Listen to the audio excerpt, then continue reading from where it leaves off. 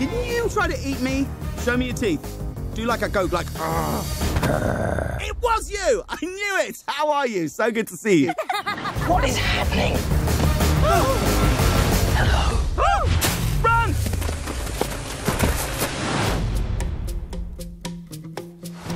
Hello, I'm Bea. Thomas McGregor. These gates are incredibly sturdy. I just need to keep the wildlife out where they belong. This guy? Who does he think he is? This is our land! What happens if we touch it? We're about to find out. No, Mrs. Tiggy Winkle, stop! Look away! It's time to get our garden back. We're gonna need everyone. Come on! Rabbits are perfect creatures. It was so classic. He was like. Let's bring the fight to him. Would you like to have a hold?